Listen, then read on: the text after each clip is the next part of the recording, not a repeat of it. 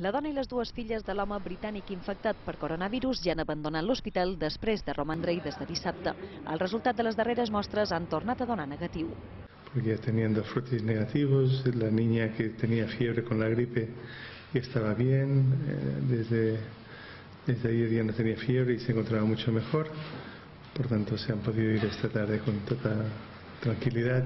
Ell, en canvi, repeteix un segon positiu, el que el manté aïllat a l'hospital. Avui li repetiran les proves. També ho faran divendres, ja que si dones negatiu en aquesta ocasió, se'n necessitaria un segon per confirmar que està lliure del virus. Un positiu sempre és possible.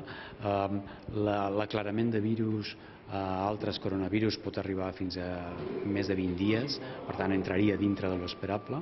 Um, sempre és veritat que ens agrada ja tenir un negatiu per poder estar tots tranquils, També ha donat negatiu el nin de 7 anys que estava en investigació per un possible contagi. Això manté a Espanya sense transmissions directes del coronavirus.